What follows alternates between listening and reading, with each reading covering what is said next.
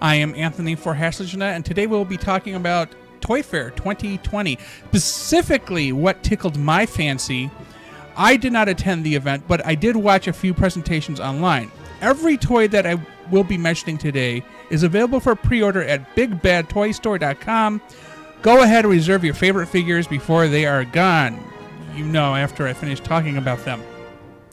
So I have to be honest, Hasbro really blew me away, but my focus was primarily on their Transformers segment and Wave 2 of Earthrise. I also liked what I saw for Ghostbusters and Marvel, but that was not why I was watching. The War for Cybertron trilogy has brought back updated versions of classic designs of previously released figures that I have been always wanting to own. And however, some of the updated figures have been released in more recent years that I didn't like. For example, Combiner Wars released an updated Sky Lynx as a combiner torso, and he only could transform into the space shuttle and then a combined beast mode. Uh, I wanted two beasts modes the combined beast mode and the space shuttle. This new version adds a launch pad to that, so it gives me what I want plus one thing more and it's huge. It is one of the biggest non-combiners they've ever made. And at some point, maybe uh, September, I think is the date. Maybe I'll get it by September. That'd, that'd be good. Also, a couple other uh, notable figures. Uh, the Decepticon Mirage. So, if anybody's watched the um, animated series back in the old days of the 80s, um, there was an episode where uh, members of the Autobots thought maybe Mirage was a spy for the Decepticons because you know if you know Mirage, he can be invisible. Uh, in the Siege line, they actually released a transparent or translucent Mirage, kind of a blue color to, to say, hey, uh, he's cloaked. So then we also have a Refractor recolor called Scrap Face.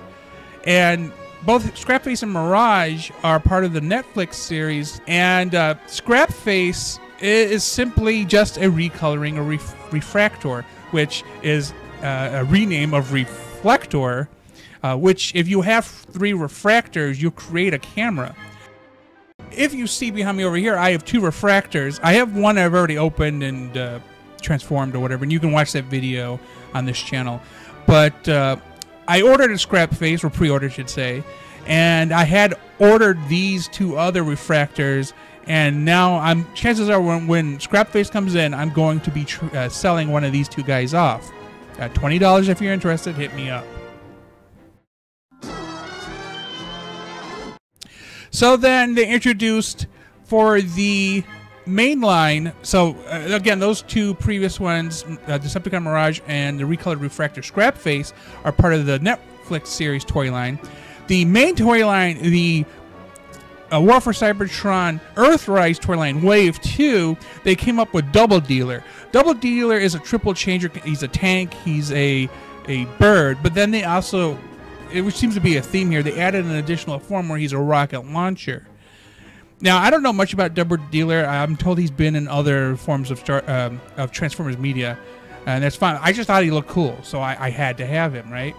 Uh, next up is Fast Track. He is a weaponizer, uh, and he's one of Scorponok's uh, lackeys, I guess is what you want to say, uh, because they had previously released um, like Six Gun, uh, Brunt, and um, Cog, which were also uh, underlings of other Titans.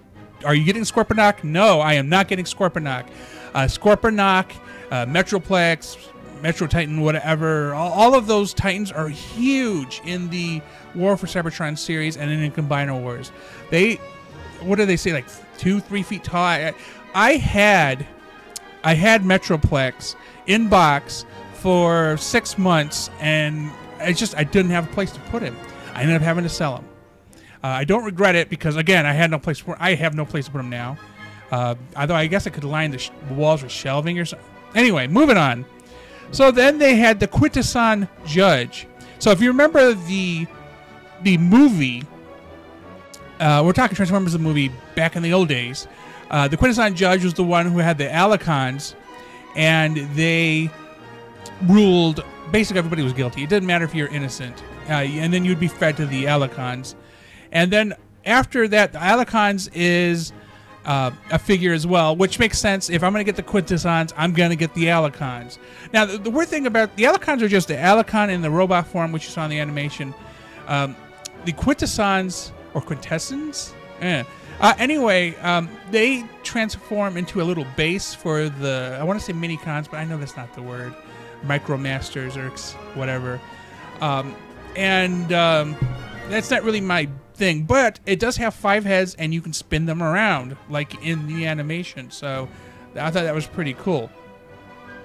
So then they have Snapdragon. He is the last of the Terrorcons that have been released or have to yet to be released. They released earlier or in 2019 they released his partner Ape Face.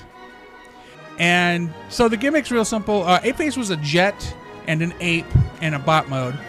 Snapdragon is a jet and a dragon in a bot mode. And in the case of both of them, they are headmasters, so their heads pop up. Uh, and I want to be clear about it. Uh, Double Dealer is not a headmaster. So then we get to uh, Super 7. They are a company that I had previously disregarded as I saw their action figure line as niche or niche or however you want to pronounce it. But then I saw that they were recreating and releasing classic 4 inch 5 points of articulation Teenage Mutant Ninja Turtles uh, as part of their reaction figures toy line. However, I'm looking for four characters that I never found in stores during the TMNT's initial run of the 4 inch figures under Playmates. Uh, I am in the hunt for the 4 inch General Traag, Slash, Rat King, and Mona Lisa. I hope that those characters are planned for the future. With that said, uh, NECA had a display of highly articulated, cel shaded TMNT 7 inch figures that included General and Slash. Um, it's just too bad they're not in scale with my other figures, uh, else I would want them both, but they look so good. There was plenty more at the toy fair, but money is finite, and I need to keep a narrow focus. Um, so check out my image sources in the description to see more of the toys at the fair. Thanks for watching. Remember to like and subscribe. Thank you for watching this video. We would also like to thank our contributors and patrons for supporting this video. If you wish to add to the discussion, post a comment below. Please remember to like, subscribe, and check out our other videos. Thank you for checking out our content. Before you leave, please remember to click like and then subscribe. If you want to receive notifications, do not forget to enable them by clicking on the bell. Then afterwards, check out our social media at HaslageNet and our website at haslage.net.